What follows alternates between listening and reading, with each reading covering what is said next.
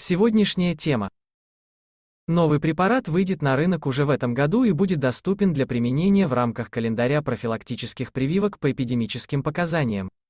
Параллельно с выпуском двухвалентной вакцины, содержащей наиболее распространенные серотипы возбудителя заболевания, мы работаем над созданием препарата против четырех серогрупп А, С, Y и W менингококковой инфекции, рассказал Андрей Загорский, генеральный директор холдинга Нацимбия, НПО, Микроген, находится под управлением этого холдинга.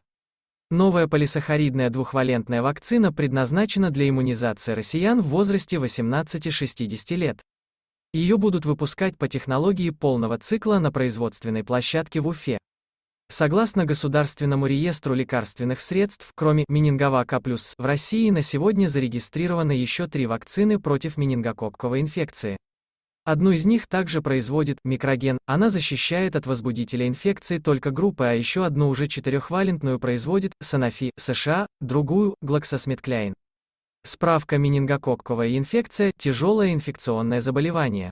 Может протекать с поражением слизистой оболочки носоглотки, назофарингит, оболочек головного мозга, менингит, септицемией, заражение крови. Широко распространено бактерионосительство. Ставь лайк и подписывайся на наш канал.